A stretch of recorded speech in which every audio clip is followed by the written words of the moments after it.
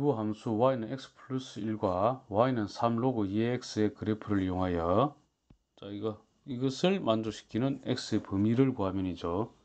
지금 x 플러스 1, 자, 요 직선, 그 다음에 3 로그 2x, 자, 요거 보게 되면은 3 로그 2의 x가 지금 x 범위 2에서 8까지 s는 요것보다 크죠.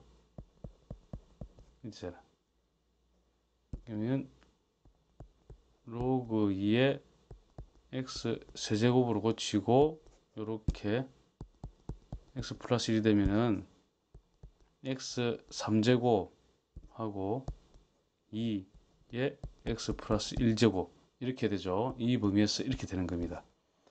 자, 이 모양이 되기 위해서는 x축 방향으로 마이너스 1만큼 팽이동을 시키면은 자, 여기는 x 플러스 1의 3제곱이 되고 이는 x 플러스 1을 대입하면 되니까 x 대신에 2의 x 플러스 2.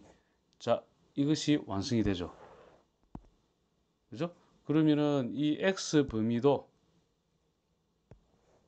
x축 방향으로 마이너스 1씩 평행 이동하게 되면은 이 범위는 1보다 크고 x가 7보다 작다 이렇게 되는 거예요. 이 범위에서 성립되는 거고 그걸 알파, 베타 알파는 1이고 베타는 7이 되겠죠.